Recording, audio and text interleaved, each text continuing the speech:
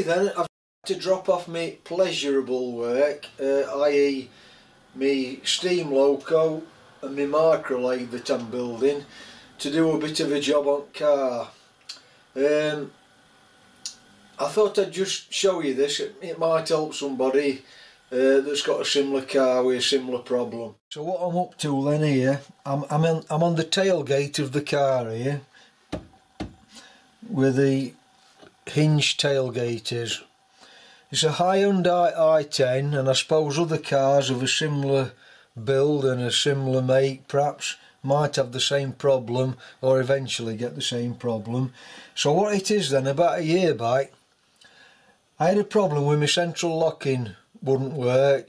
Every time I put the wiper on it would fuse the fuse uh, and the brake lights were intermittent. So what I did back then, a year back, I, I, to cut a long story short, I traced it down to the problem being here. Because this rubber boot is constantly flexing and as you close the, the tailgate, the PVC around the wires has gone a bit hard and as it's continually flexing, when I when I cut into this rubber boot, I found that three or four of the wires actually broke completely. One was shorting out, that was the rear wiper. And then the others that hadn't broke, the PVC on some of them had cracked and you could see the bare wires. So what I did back then, I did a quick repair by just putting some connectors in. It's a bit fiddly here because you've not got much room and there's not much wire to spare. So just to do a quick job, I put four connectors, connectors in, connected it all back up, insulated the wires that were cracked, put it back together and it's worked for a year till I took it for MOT yesterday. Uh, to find out that the brake lights wasn't working again. So um, again I've traced I've traced the fault back to here. So another one of the wires have broke.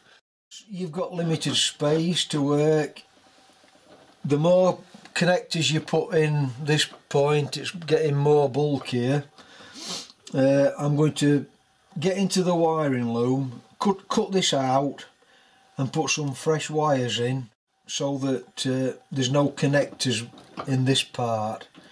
So what you've got to do then you've just got to get this rubber boot out and obviously you're going to have to well I had to split it to repair it last time um, if you've not already split it you might get away with unthreading that off without splitting it.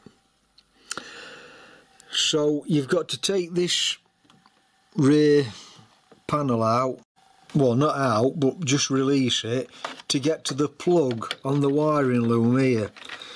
So I've undone that plug so now all the wiring up to this tailgate is dead if you're not going to undo that plug you've got to take the negative off the battery so you've got not got no power going through these wires. Because it might fuse you know other things if you don't. Right so what I'm going to do I'm going to thread my wires through. Let me just do that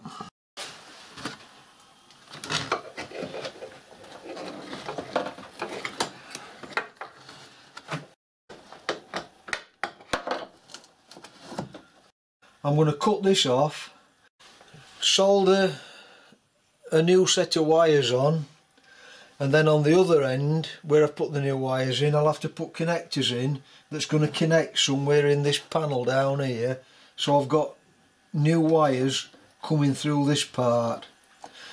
But what's important really there's um, there's different thickness of gauge wires here.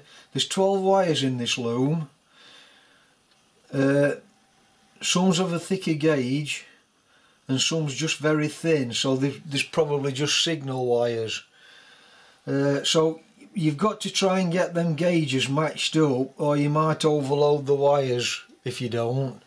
So I'm going to have a look through my box of wiring try and match up as near as I can the colours and also match the gauge of the wire up because if you put all thick gauge in obviously gonna then you're gonna get a bigger clump of wires coming through this bit here. Right I've got a box of wire in here. So what I do if if I'm if anybody's getting rid of a washing machine or a tumble dryer or anything like that a domestic appliance I just cut all the wires out and save them you get various thicknesses and various colours then what I've done then, I've I've a note of the wires in the wires in the harness, the colour codes and the thickness, whether they, you know, thick, thin or medium.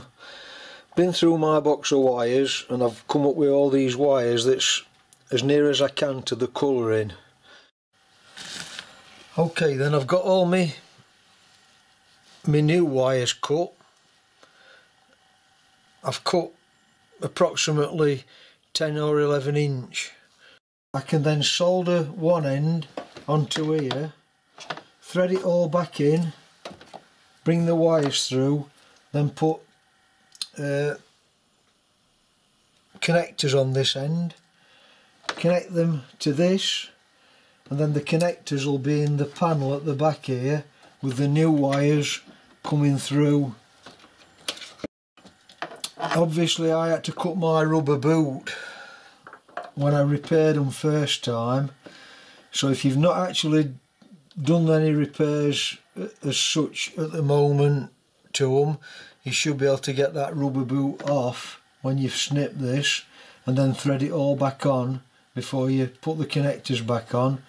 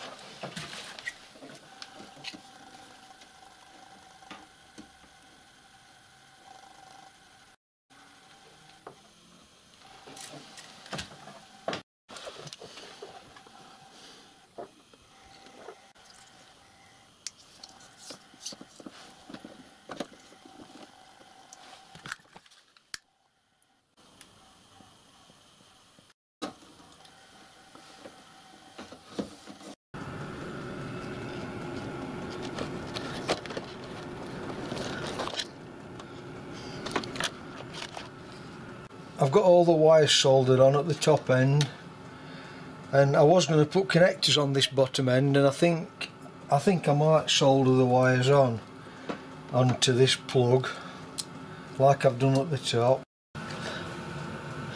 Right so before I solder these wires with the plug on to this end I've got to make up this uh, rubber boot. So I've got a bit of bicycle inner tube here. I'm going to tie wrap that to one end of that plug that rubber bung and then tie the other one to this end to give me that to make that rubber boot up. Okay then I've got all the wires soldered back onto this bottom half with a plug um, threaded it through the hole in the top put the rubber grommets back and I've just put this piece of Cytal in a tube with some tie wraps around it. Uh, so uh, I'm ready for connecting it up now and trying it.